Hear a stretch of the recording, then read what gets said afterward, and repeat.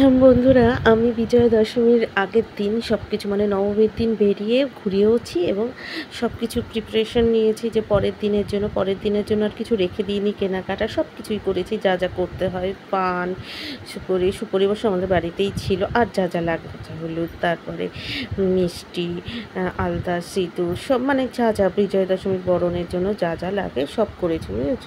সেটাই করছিলাম, একটু ফাস্ট করে দিয়েছি, অনেকটাই ফাস্ট করে দিয়েছি, বুঝতে পেরেছ? নাহলে তো কেমন লাগে? তো কচুয়ামোড় থেকে কিনেছি অশোকনগর থেকে কিনেছি, অশোকনগরে ঠাকুর দেখতে গেছিলাম ওখান থেকে দেখে কিছু কিনে এখানে এসেছি। কচুয়াতে আবার কচুয়া থেকে কিনছিলাম, এটা, ওটা।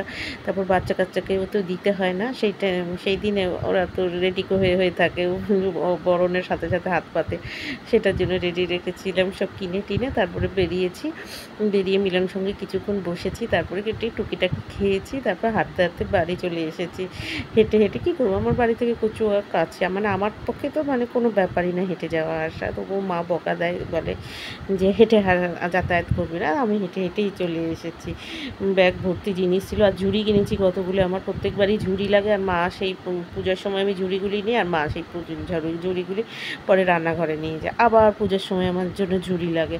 সেই ঝুড়ি টুড়ি কিনে বেশ ভালো করে ঘুরতে ঘুরতে অগ্রণীর সঙ্গে ঠাকুর ঠাকুর দেখে আবার বেশ মজা লাগে। বলোই তো নবমীর দিন কি আর নবমী যেতে যেতেই না বিজয়া দশমী এসে যায়, কান্নাও পেয়ে যায় খুব। আর এই জমজমাট সবাই তো মানে মানে সবে বের হচ্ছে, কয়েকদিন একটু বৃষ্টি বৃষ্টি ছিল বলে যাই হোক, খুবই ভালো লেগেছে। আমার সবই একদম একদম আমি তৈরি, কিনে, কেটে একদম বাড়ি নিয়ে চলে এসেছিলাম। হেঁটে হেঁটেই ফিরেছি, জানো তো, আমার ভীষণ ভালো লেগেছে।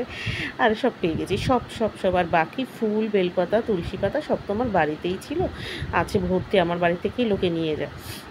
কোনো অসুবিধা হয় না। এটা দেখো নবমীর মিলন সঙ্গে তারপর অনেকক্ষণ বসেছি।